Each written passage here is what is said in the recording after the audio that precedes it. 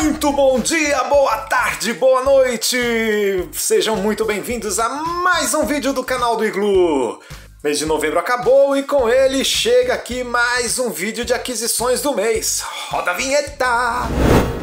Muito bem, pessoal, vou apresentar para vocês as aquisições do mês de novembro. Novembro foi meu aniversário, então tem alguns itens aqui que eu ganhei de presente né? Então vamos lá, vamos mostrar aí para vocês. Finalmente tenho aqui em mãos um dos meus filmes preferidos. Em breve teremos vídeo especial no canal sobre esse filme aqui, hein?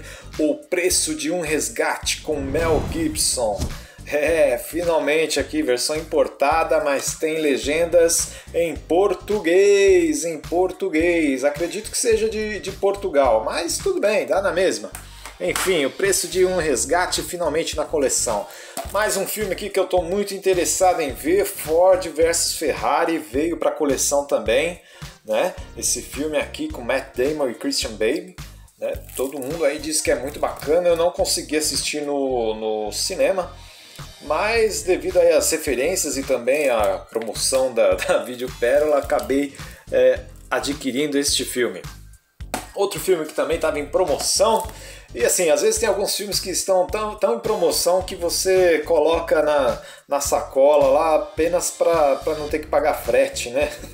Foi o caso desse aqui. Mas eu, eu sou muito curioso por filmes é, desse tipo aqui, então acabei adquirindo também o Mega Tubarão. Mega Tubarão veio para coleção, espero que seja um filme bom, né? Vamos ver aí, depois eu conto para vocês se valeu a pena ou não. Mais um filme que, poxa, esse aqui eu queria muito o Steelbook, né? O Steelbook dele é lindo, mas parece que nem sequer foi lançado no Brasil, né? É, devido à pandemia aí, me parece, enfim. Mas o, o lado bom é que eu consegui um preço muito bom. Se eu não me engano, foi R$29,90 esse filme aqui na, na Vídeo Pérola, né? Blu-ray, é, dois irmãos da Disney Pixar, Blu-ray duplo, inclusive, tá pesadinho aqui. E Parece ser uma edição muito bonita também. Veio para coleção Dois Irmãos, filmaço aí da Disney Pixar. E aqui agora três steelbooks. Olha aí, eu já tenho o Blu-ray do Dumbo, mas este steelbook aqui também na promoção, lindão, não poderia deixar de ter, né? É muito lindo esse steelbook, mais um steelbook para coleção. Estou vendo que daqui a um tempo vou ter que atualizar aquele vídeo lá, hein? Se você, aliás, se você não assistiu uh, o vídeo recente que eu postei aqui no canal da minha coleção de steelbooks da Disney, da DC eh, e filmes diversos, ó, esse aqui é mais um que vai para a coleção de filmes da Disney. Dumbo! Outro steelbook aqui para a coleção Exterminador do Futuro. É, Exterminador do Futuro. Isso aqui, aqui eu, eu ainda não abri, acabei de receber né, o pacote e ainda não abri. E mas parece que, que é bem legal aqui a arte dele também. Muito bonito, hein? Muito bem feito isso aqui. Exterminador do Futuro e finalmente eu tenho ah, finalmente olha quem chegou para a coleção Star Wars The Rise of Skywalker é steelbook lindo hein rapaz Steelbook lindo, olha aí, rapaz, que coisa linda. Veio para coleção também, grande promoção. Não, esse aqui foi preço cheio mesmo, esse aqui não, não entra na promoção, infelizmente. Mas os outros dois Steelbooks peguei na promoção lá da Vídeo Pérola. E agora esse que eu estava esperando. Olha aqui o que chegou, Cinemagia! Rapaz, eu tô muito curioso, muito curioso mesmo para assistir isso aqui. Que coisa linda! Vou fazer um vídeo especial disso aqui, merece, viu? Merece mesmo. Cinemagia, a história das videolocadoras de São Paulo.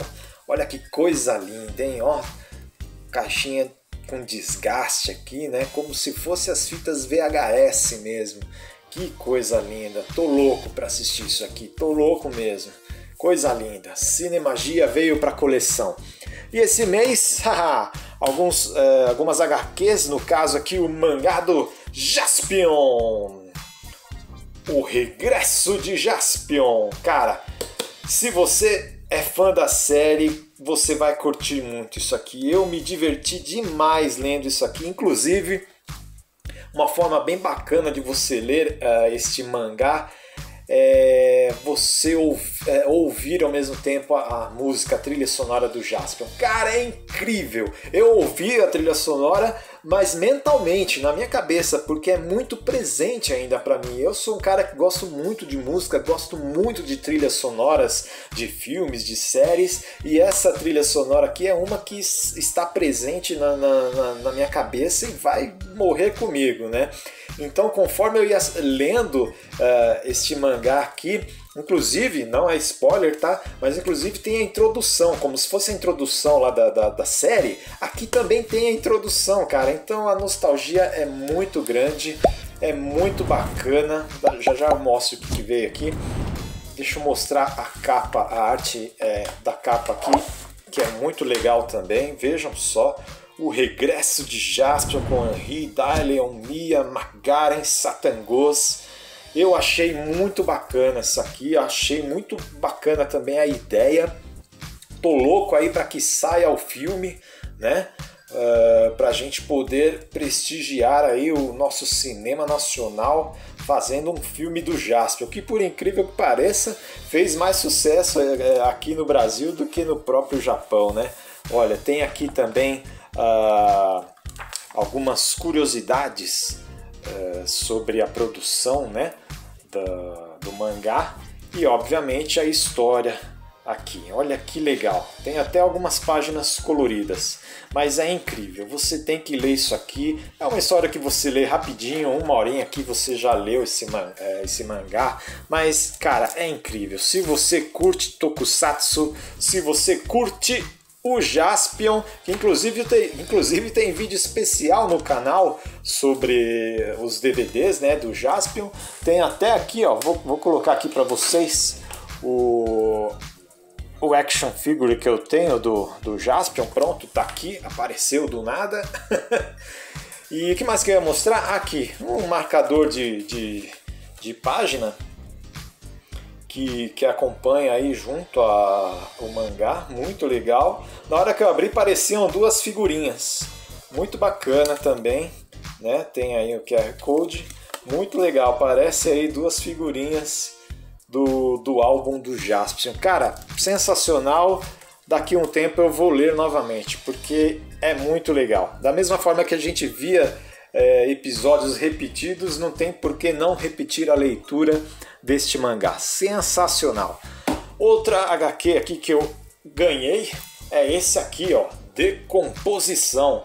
Eu vi a resenha né, do, do Pipoque Nankin, curti demais, achei muito interessante, achei muito interessante a ideia e eu, como fã da DC, não poderia deixar de ter esse aqui na minha coleção também.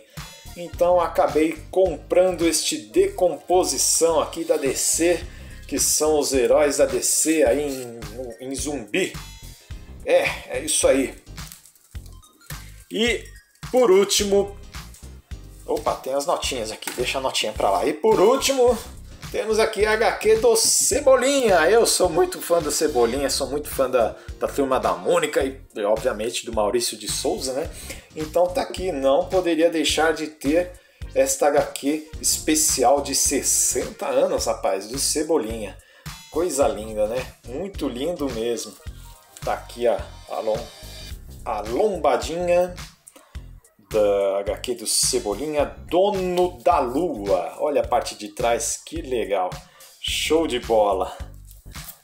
Sensacional. Muito bacana, né? Tá aí. É isso aí, pessoal. Essas foram as aquisições do mês de novembro. Espero que vocês tenham gostado do vídeo. Deixem aí nos comentários quais desses filmes vocês gostam mais, quais vocês já assistiram ou ainda não assistiram, quais dessas HQs vocês também gostariam de ler, tá bom? Deixem o seu like, caso ainda não seja inscrito no canal, por favor considerem fazer a sua inscrição. O Jaspion e eu agradecemos, ok? Nos vemos no próximo vídeo. Até mais. Tchau, tchau. Uhul. Come on, boy. 辛い時ほど Come on, boy. 笑おうぜ。そうさ、勇気がすぐ戻る。 男だもんな若さだもんな 眩しいもんな